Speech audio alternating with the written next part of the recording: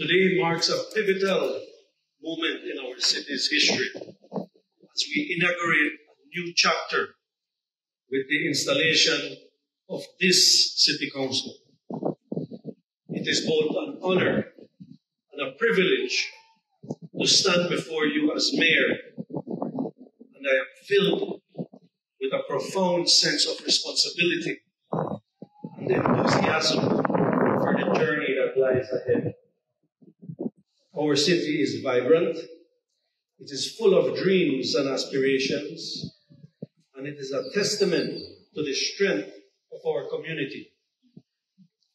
As we take on the mantle of leadership, let us recognize the unique character of this city.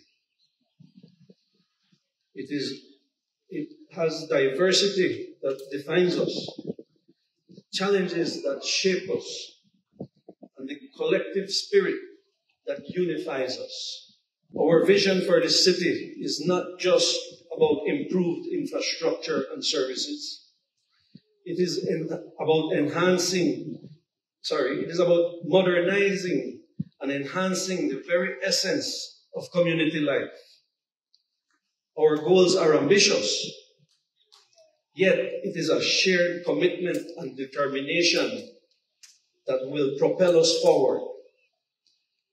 As we fa- face the complexities of modern governance, let us remember that our decisions impact the lives of each resident.